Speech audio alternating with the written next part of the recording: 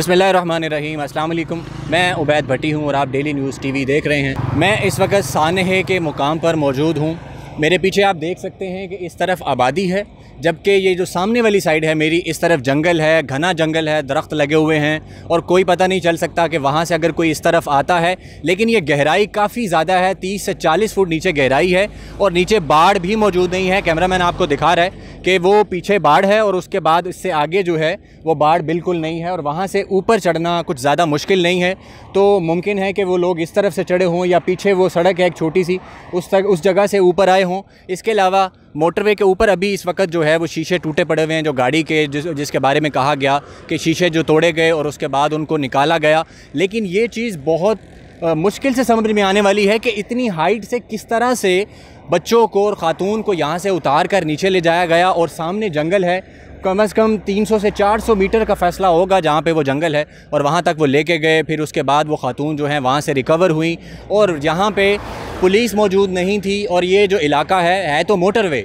लाहौर से सियालकोट जाती है, लेकिन ये अभी तक मोटरवे पुलिस के अंडर नहीं है, उनकी तहवील में नहीं दी गई। नेशनल हाईवे जो है, उनके अंडर है। अभी थोड़ी देर पहले आईजी पंजाब जो थे, उन्होंने स्पेशल जो स्क्वाड है, वो इस इलाके की सिक्योरिटी के लिए, हिफाजत के लिए उसकी जो है, इनाग्रेशन की, और इस वक्त वो मोटरवे पर मौजूद हैं, ताकि यहाँ आवाम को दिन और रात के वक्त जो है, किसी मुश्किल का सामना ना करना पड़े, और लोगों की जो हिफाजत है, उसको यकीनी बनाया जा सके। अब तहकीकात हो रही हैं तहकीकात में क्या सामने आता है? पुलिस इस सारे इलाके की जियो फेंसिंग कर रही है अर्बन रूरल और जितने तरीके हैं तफ्तीश के, वो सारे अपनाए जा रहे हैं। बारह मशकूक अफराद जो हैं, वो पुलिस की तहवील में हैं। इसके अलावा डी एन ए टेस्ट हो रहे हैं। इसके अलावा ये जो, मेरी दाई साइड पर जो गाँव है, यहाँ के जिन लोगों के बारे में कहा जा रहा था कि जो मशकूक लोग थे, उनके हवाले से भी पुलिस जो है, वो जियो फेंसिंग भी कर रही है, और उसके अलावा फोरेंसिक भी कर रही है, और जितने भी तरीके जो हैं, वो काबिल इस्तेमाल हैं, या जदीद तरीन जो तरीके हैं तहकीक के, वो सारे जो हैं, वो अपनाए जा रहे हैं। एक बार फिर से मैं आपको ये आगाह कर दूँ कि मेरे पीछे से ये जो साइड आ रही है, ये तकरीबन दो से ढाई किलोमीटर पीछे जो है टूल प्लाज़ा है,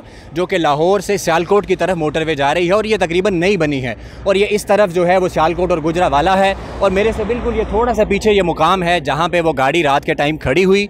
उस गाड़ी का पेट्रोल ख़त्म हो गया मुबैना तौर पर एफ़ आई आर के अंदर जो है वो यही मालूम हैं कि पेट्रोल ख़त्म हुआ तो खातून की गाड़ी यहाँ पर रुक गई और उन्होंने मदद के लिए अपने रिश्तेदार जो है उनको कॉल की, उनको अपनी लोकेशन सेंड की। उन्होंने उनको मोटरवे पुलिस को कॉल करने का कहा। तो उसके बाद मोटरवे पुलिस जो थी, उन्होंने मुतलका जो डिपार्टमेंट बनता था, उनकी तरफ़ डाइवर्ट किया। लेकिन कोई भी मुतलका अहलकार या इदारा उनकी मदद के लिए यहाँ ना पहुँचा और रात तीन बजे के करीब जो है वो बदतरीन सानहा यहाँ पे पेश आया और जिसके बाद इस वक्त पूरे मुल्क में गम और गुस्से की फ़िज़ा है। लोग मुतालबा कर रहे हैं कि जो रेपिस्ट हैं, उनको पब्लिकली हैंग किया जाए ताकि आइंदा ऐसे वाक़ जो हैं, उनकी रोकथाम मुमकिन हो सके, ताकि लोगों के लिए मिसाल बने और कोई भी ऐसा घिनौना काम करने से पहले सौ बार सोचे।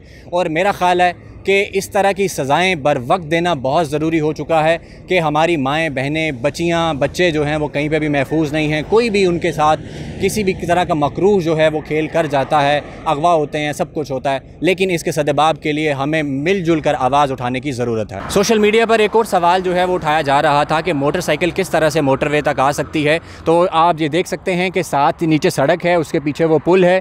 इसके अलावा करीब ही ये कोई स्टेडियम है जिसकी फ्लड लाइट्स आप देख सकते हैं कि ये एक सड़क आ रही है तो मोटरसाइकिल यहाँ पे लगा के या गाड़ी लगा के या पैदल भी यहाँ से आया जा सकता है, बल्कि वो मोटरसाइकिलें आती हुई आप देख भी सकते हैं कि वहाँ से पैदल आके ऊपर चढ़ा जा सकता है और रात गुजरती हुई गाड़ियाँ जो हैं, उनको किसी भी तरह से रोक के उनके साथ कोई भी हादसा जो है, वो पेश आ सकता है। लेकिन अब इस इलाके की हिफाजत के लिए आई जी पंजाब ने खसूसी जो दस्ता है वो तैनात कर दिया है।